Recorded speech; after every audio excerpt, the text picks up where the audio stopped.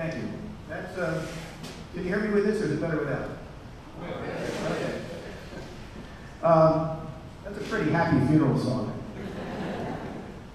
Uh, this next one is called Bourbon Street Parade, and we're uh, still in New Orleans.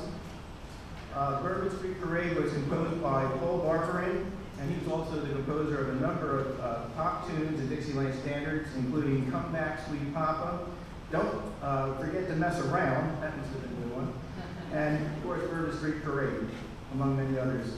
Many of his tunes have become New Orleans Dixieland jazz classics and are often performed for New Orleans funerals, second lines, and Mardi Gras parades around the world.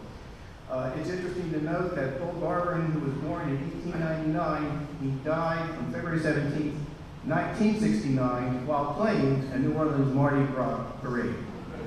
Uh, if you know the words, uh, you're encouraged to sing along with us during the second chorus, Bourbon Street Parade.